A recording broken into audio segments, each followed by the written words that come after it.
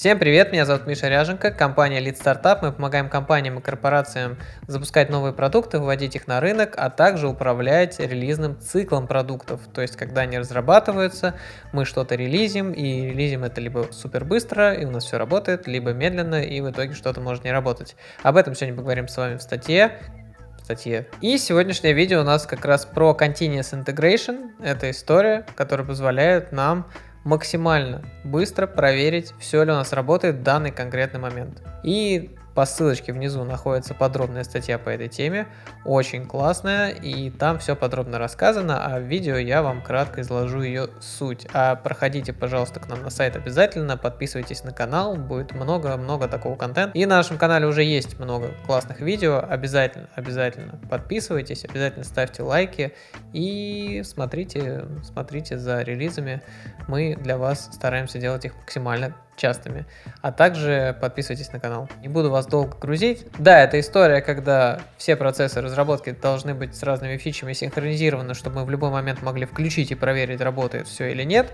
Но по сути это просто по нажатию одной кнопки мы включаем и проверяем, что у нас работает, что нет, соответственно, вменяемый промежуток времени у нас минут 30, мы должны понять, что все классно, у нас все работает, мы делаем то, что надо. И достигается в основном это за счет автотестирования, то есть так называемого Test-Driven Development. У нас есть отдельное видео на канале и статья на сайте, даже вроде не одна уже. И без Continuous Delivery у нас будут долгие релизы, это самый главный страх.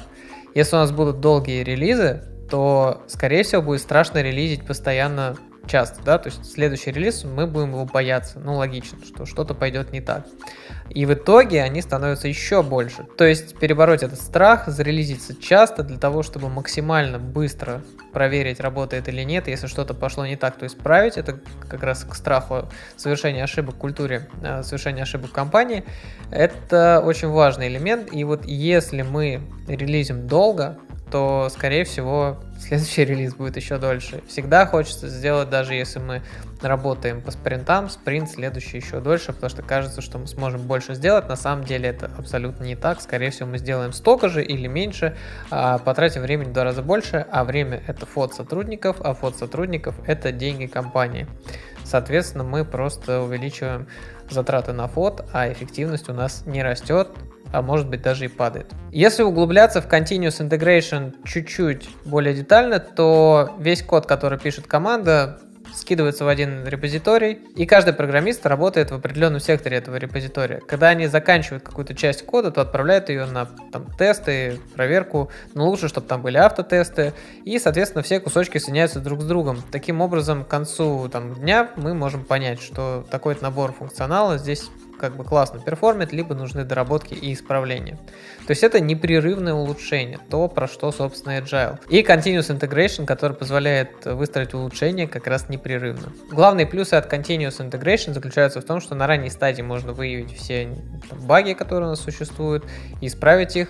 Улучшается коммуникация между всей командой, то есть все примерно понимают, что они делают, и есть визуализация всех процессов. Баг получается искать в целом быстрее, не надо сидеть и ждать, пока закончится тест кода, то есть можно работать над новым кусочком, и очень много обратной связи, соответственно, получаем мы вовремя. В общем-то все. Если хотите почитать про Continuous Delivery или Continuous Integration, к нам на сайт переходите, там подробные статьи по этим темам, у нас прям такая своя Википедия есть.